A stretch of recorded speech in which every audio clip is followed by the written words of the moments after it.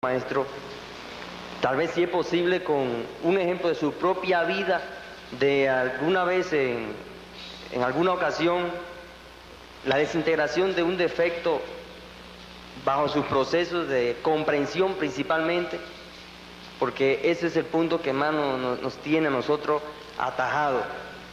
Y es lógico que allí, ya aparte de esa cuestión, nos anima un anhelo terrible eh, a esa juventud de la República Dominicana por luchar, por propagar la gnosis por todos los cuatro costados de nuestro país e inclusive estamos haciendo esfuerzos terribles para llevar a nuestro hermano gnóstico misionero internacional Efraín Villegas Quintero a España y si es posible enviar otro misionero o él mismo si es posible también a países más lejanos y nosotros le costeamos el viaje y su, y su manutención por allá.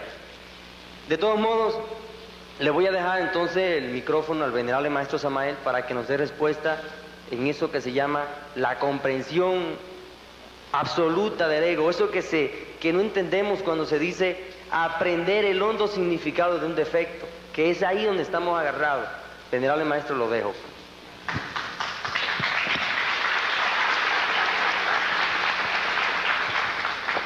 Bueno, hemos escuchado la palabra de nuestro hermano dominicano y francamente sí me ha sorprendido la pregunta, tremendamente.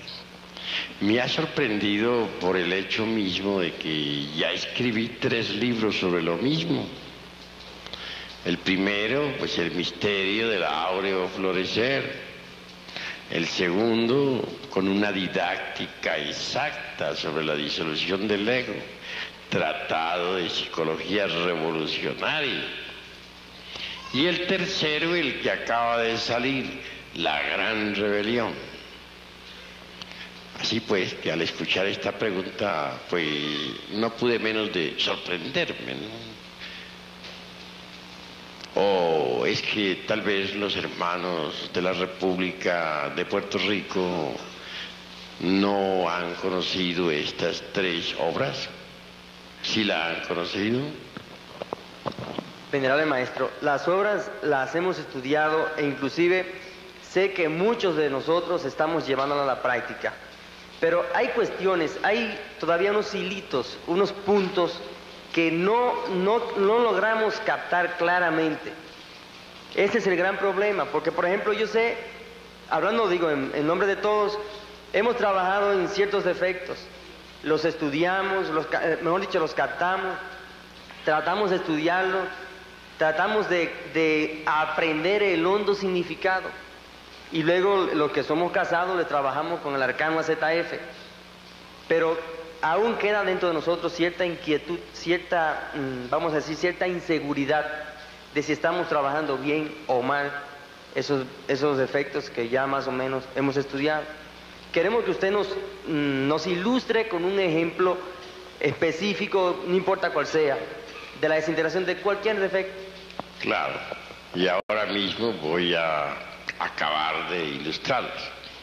Hoy cité parte de una experiencia vívida, pero ahora quiero contestarla o, narrarla en forma completa.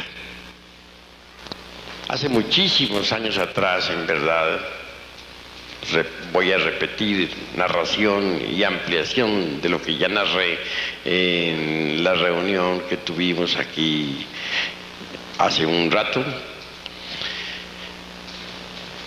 Saría, fracasaba en todas las pruebas en relación con la castidad.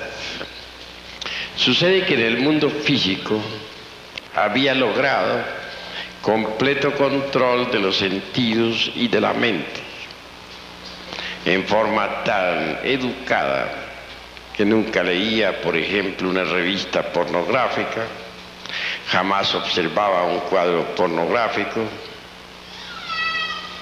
Aprendí a mirar al sexo opuesto desde la cintura hacia arriba, sin detenerme jamás a observar la forma de las pantorrillas o cosas por el estilo que les encanta mirar a los varones tan detenidamente.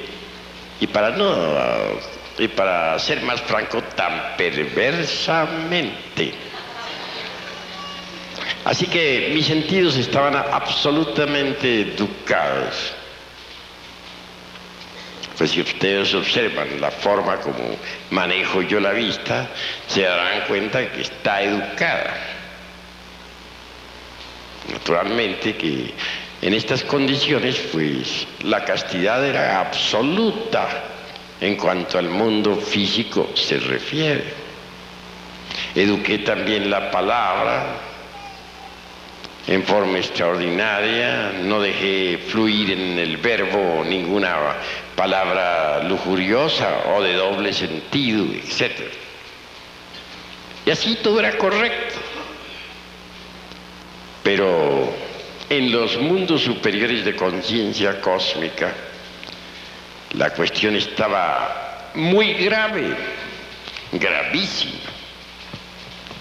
Me sometieron a pruebas rigurosas de castidad y fallaba, a pesar de todo mi sistema de controles psicológicos, a pesar de todos mis yudus psicológicos, a pesar de todas mis técnicas. Bastaba con que me pusieran por ahí una escoba vestida con faldas para que inmediatamente le caminara.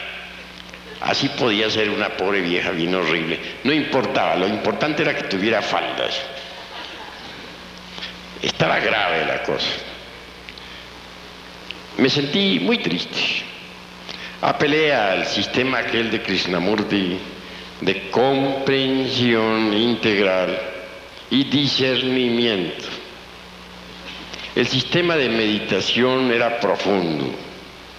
Trataba de discernir el proceso de la lujuria, el proceso del deseo. Quería comprender para poder eliminar, mas todo resultaba inútil. Después de un día de terrible trabajo sobre mí mismo, volvía a fallar en las pruebas de la castidad. Por tal motivo sufría espantosamente. No les niego que hasta me disciplinaba rigurosamente. Llegó el punto de llegar hasta azotarme. Sí, agarrar un látigo y darme yo a mí mismo, a mí mismo castigando a la bestia. Pero aquella pobre bestia resultó más fuerte que el látigo, y ni el látigo valía. Así que no me quedó más remedio que sufrir.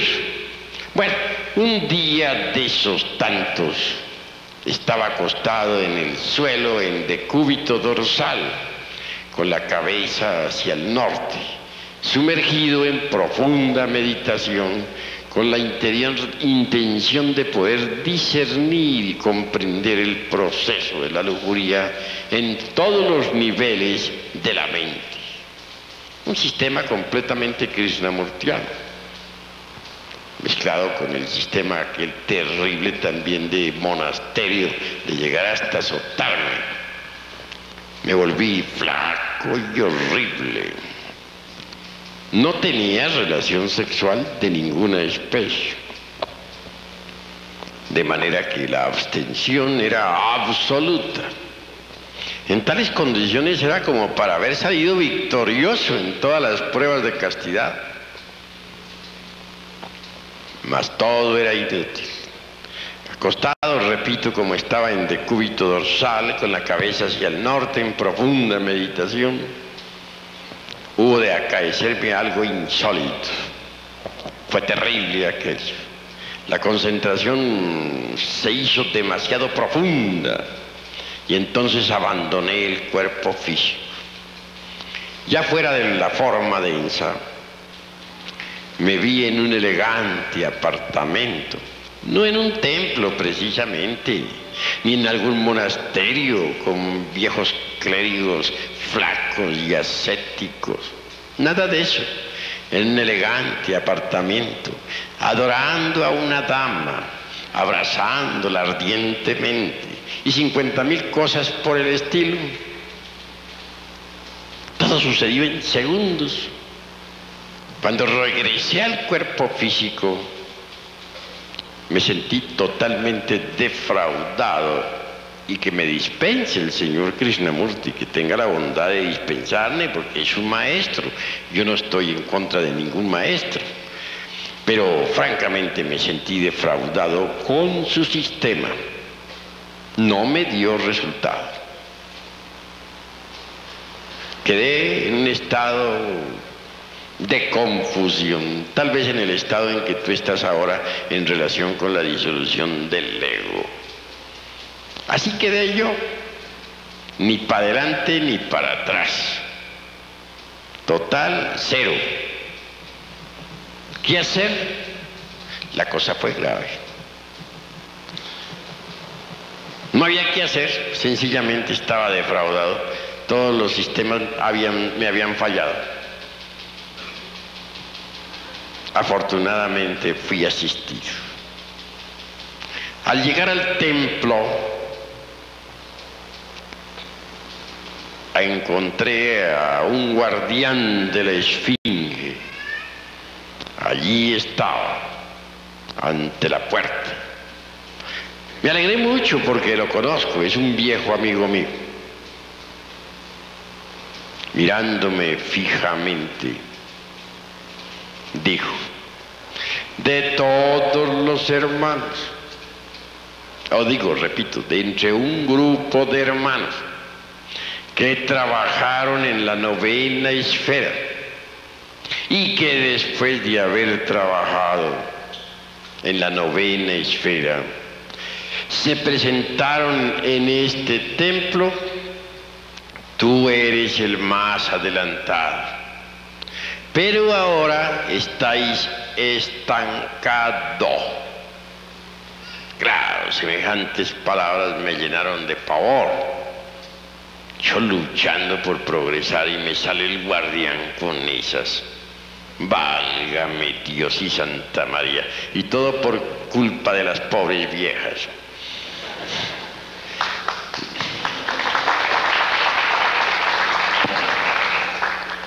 Entonces le, contesté, bueno, pero por favor, dígame, ¿por qué motivo estoy ahora estancado? Continuó, porque te falta amor. Mi sorpresa llegó ya al colmo. Pues yo consideraba que estaba amando a la humanidad y así se lo dije he escrito libros, trabajo por la humanidad. ¿Cómo es eso de que me falta amor? Si no es acaso por amor que estoy trabajando. Te habéis olvidado de tu madre. Eres un hijo ingrato. Y el hijo ingrato no progresa en estos estudios. Esto fue peor todavía. Yo, un hijo ingrato, yo que quería tanto a mi pobre madrecita, y ahora resulto ingrato para el colmo de los colmos. Y que me haya olvidado de ella, no, yo no me he olvidado. Lo que pasó fue que se desencarnó. ¿Y cómo le hago ahora para encontrarla en el mundo físico? Todas esas cosas se me vinieron a la mente.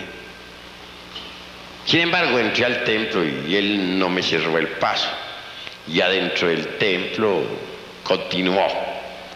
Te estoy diciendo esto para tu bien, compréndelo. Debes buscar a tu madre. Bueno, le dije, pero si ya se murió, ¿dónde la voy yo a buscar? ¿Dónde está mi madre? ¿No te habéis dado cuenta de lo que te estoy diciendo? Continúa el guardián. ¿No quieres comprenderlo? ¿Cómo es eso que me preguntas dónde está tu madre? ¿No sabes acaso dónde está tu madre? ¿Es posible que un hijo no sepa dónde está su madre? Pues francamente no, no sé. Se lo digo para su bien, respondió. Bueno, voy a tratar de comprender qué es lo que tú me quieres decir. Me despedí del guardián. Pasaron algunos días y yo no acertaba a entender esto. ¿Cómo es eso que yo busqué a mi mamá? Pues si ya se murió, entonces la voy a buscar. Bueno, 50 mil conjeturas tenía en mi pobre cerebro. Hasta que al fin un día de esos tantos se me encendió por aquí un foquito y entonces comprendí. Ah, ya dije se refiere el guardián del templo a mi divina madre Kundalini, la serpiente ígnea de nuestros mágicos poderes. Ya lo sé, voy a concentrarme en ella. Me acosté otra vez en decúbito dorsal, con la cabeza hacia el norte, el cuerpo relajado, en profunda meditación interior, interior pero orando a mi divina madre Kundalini. Yo oraba, pero de cuando en cuando me surgía la preocupación aquella, como no vaya a resultar en otro apartamento. Válgame Dios. Así estaba con la preocupación. Y la concentración era cada vez más tremenda. De pronto, ella Devi Kundalini Charti me sacó dentro el cuerpo físico y me llevó a Europa, a París. Una vez en esa ciudad me condujo ante un gran palacio del karma El, el, salón de audiencia estaba lleno de gentes. Algunos policías me acompañaban, señores de la ley. Dije, vaya, vaya, vaya en las que me metí yo por estar en estas cosas. Y aquella policía avanzó conmigo por el centro del salón hasta la mesa donde estaban los jueces. Uno de ellos, el que estaba en el centro de la mesa, abrió un gran libro y me leyó algunas diabluras que yo había hecho en mis épocas de bodhisattva caído, por allá en la Edad Media en las épocas en que la Inquisición católica quemaba viva a la gente en las hogueras.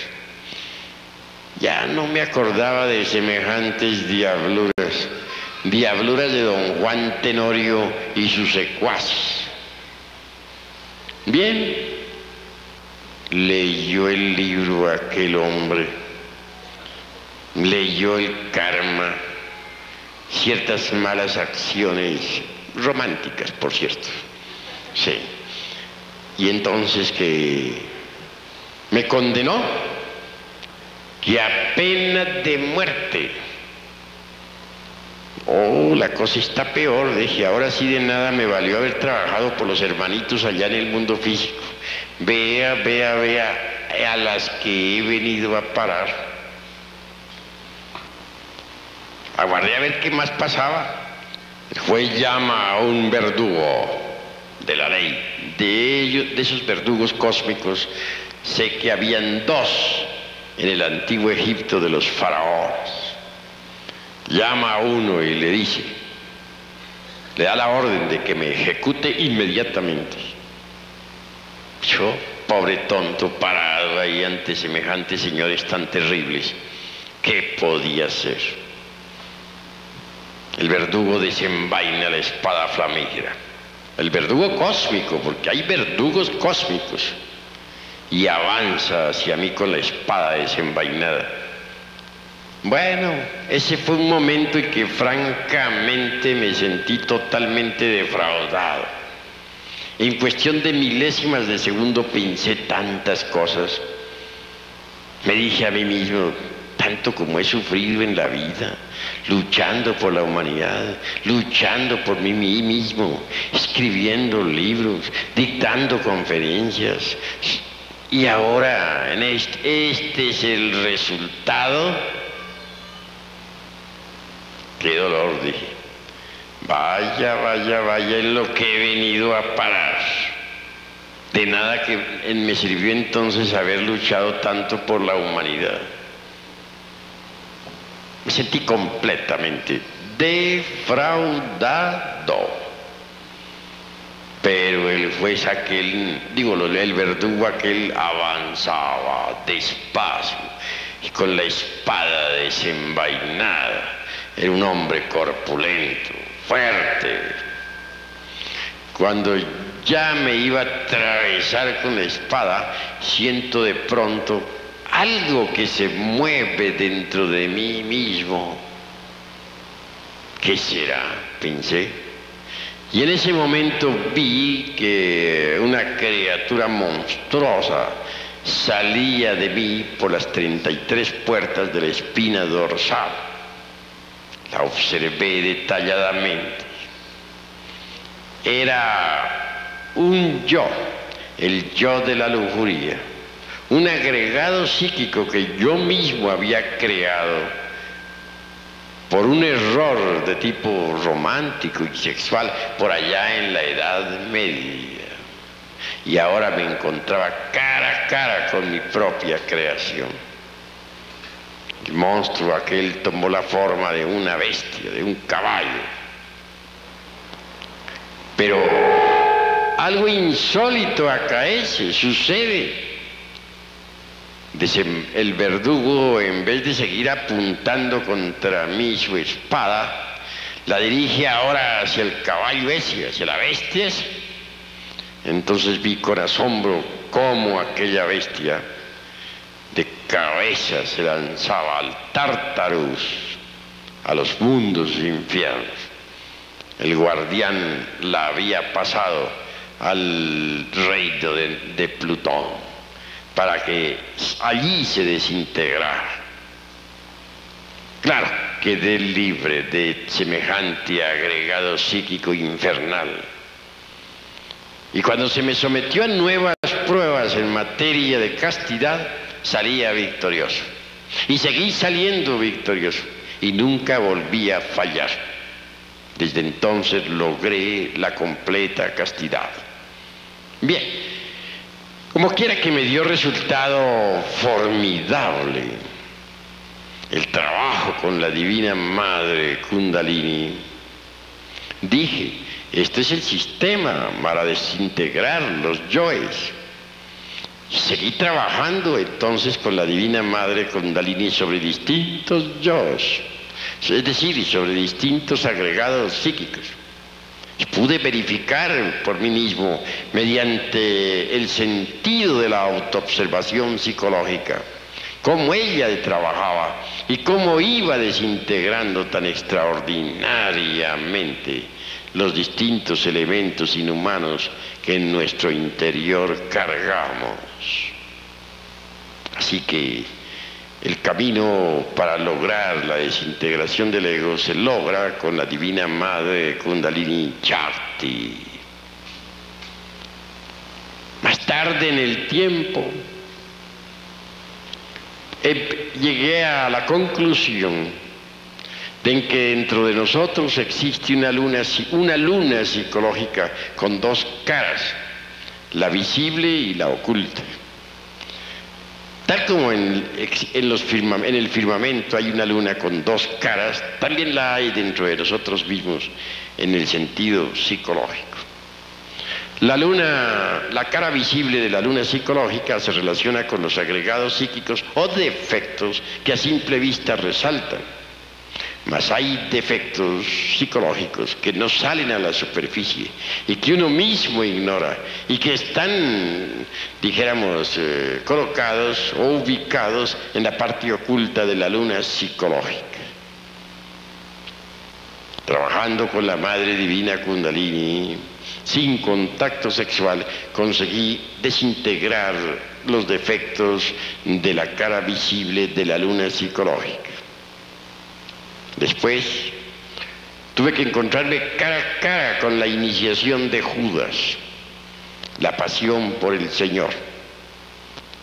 Al llegar a esas alturas, descubrí que hay defectos psicológicos, agregados psíquicos tan antiguos y tan imposibles de poder desintegrar, que se necesita apelar a la novena esfera, bajar a la fragua encendida de vulcano.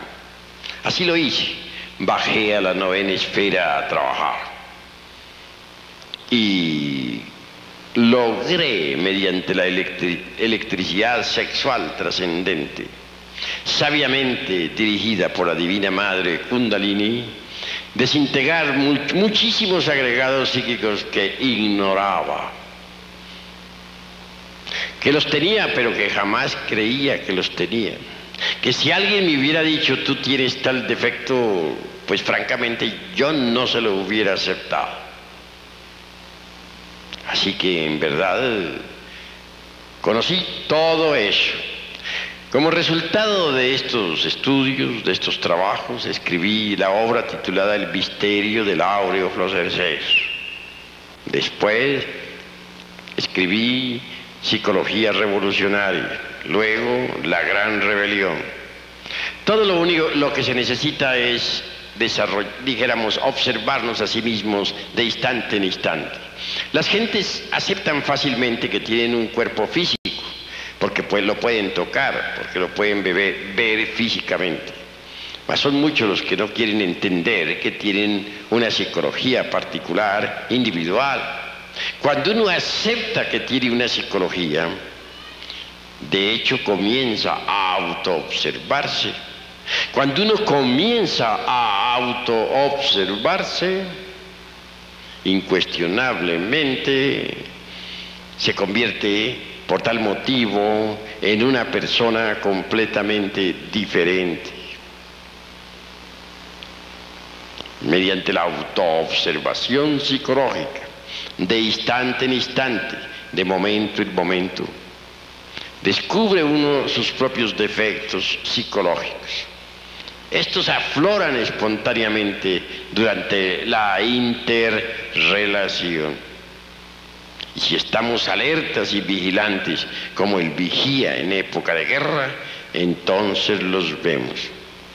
Defecto descubierto debe ser comprendido íntegramente en todos los niveles de la mente. Uno comprende un defecto a través de la técnica de la meditación. Ahora, llegar a la honda significación de tal defecto no es cuestión de principiantes. Eso es para gentes que ya están trabajando con la parte oculta de la luna psicológica. Contentes en ustedes con comprenderlo. Y eso es todo. Ya comprendido, entonces pueden invocar a Devi Kundalini, su divina madre cósmica, para que ella lo desintegre. Varias sesiones de trabajo serán necesarias para la desintegración de tal o cual defecto psicológico. A veces gasta uno unos días, otras veces meses para poder llegar a desintegrar un defecto. Ahora bien, si hace más fácil la desintegración cuando el trabajo se realiza en la novena esfera, porque el poder de Devi Kundalini es reforzado con la electricidad sexual trascendente. Así, un defecto que hubiera uno podido desintegrar en seis meses o un año de trabajo, puede desintegrarlo en un mes o en quince días o en, o en una semana en la novena esfera.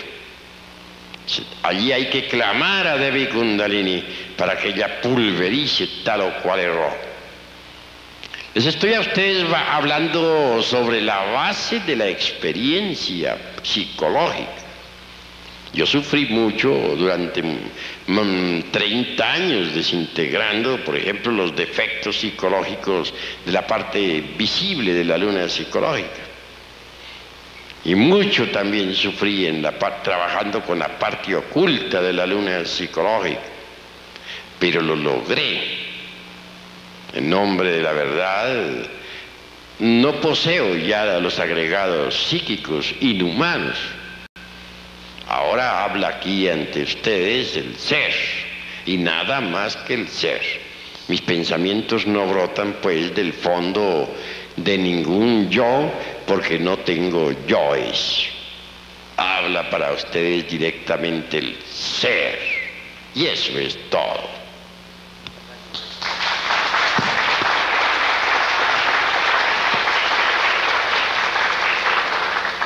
Que sigan las preguntas, pues, porque debemos em, responder a todos. Y me perdonan tanto el pues, porque resulta que aquí estamos en la tierra del pues, Guadalajara, Jalisco.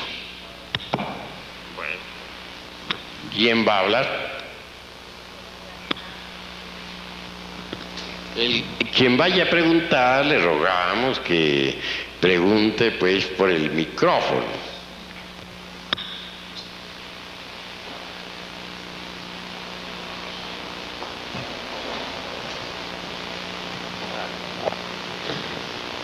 Venerable Maestro, hace 26 años exactamente que yo digo que es un defecto psicológico creado de mi propia mente. Se me presentan, usamos mosquiteros porque hay muchos mosquitos en Santo Domingo, y me cogen el cerebro. Y yo veo muchas arañas en el mosquitero, y pájaros, aves, pico largo, ¿verdad? Que van sobre mí, como a herirme. No se oye, hermano. Le rogamos arrime bien a sus labios el frío micrófono. pues sí. Eh, que desde hace 26 años, exactamente desde el día 30 de mayo del año 1950, comenzó comenzó una crisis en mi mente. Cada vez que me acostaba, eh, el cerebro me quedaba como con una pesadilla, pero yo podía ver en el mosquitero arañas peludas, ¿verdad? Y aves con pico largo que venían como a herirme. Hace dos noches exactamente, ya eso se puso un poco mayor. Eh, me sucedió la misma cosa aquí en el hotel y pude ver que salió un señor, trataba de echarme una cosa por ese oído, yo estaba luchando con él, eso era en sueño. Pedí auxilio a un amigo que estaba en una cama próxima mía y vi a un señor que salió, un mono negro. ¿Podría usted explicarme a qué se debe eso desde tanto tiempo? Bueno, hermano, con el mayor gusto vamos a responder esta pregunta, aunque es de carácter individual. Espero que las próximas preguntas se relacionen con las organizaciones y forma de la gnosis en los países de Estados Unidos, Puerto Rico y Santo Domingo. Pero como una excepción en este caso vamos a dar una respuesta. Esas arañas son agregados psíquicos que personifican al escepticismo, al materialismo. Nos indican con claridad que en una pasada existencia fuiste muy escéptico, muy incrédulo. Y en esta misma existencia no has sido, no has sido, no no has sido tan creyente que se diga. Como secuencia o corolario existen esas horribles arañas en tu mente, creadas por ti mismo. En cuanto, a los, pajarracos esos de tan mal agüero, son creaciones también de tu propia mente. Yo es del escepticismo, del materialismo.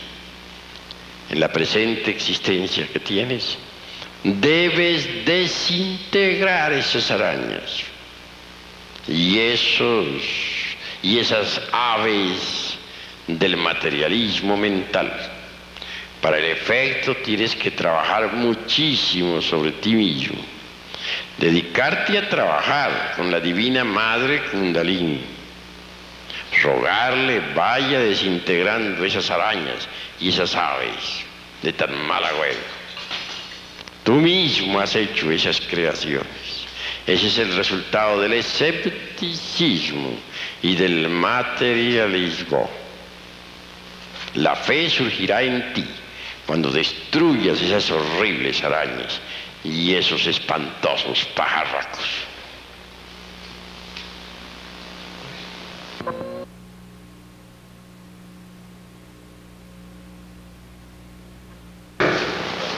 Pero que los sacerdotes no cometan el error.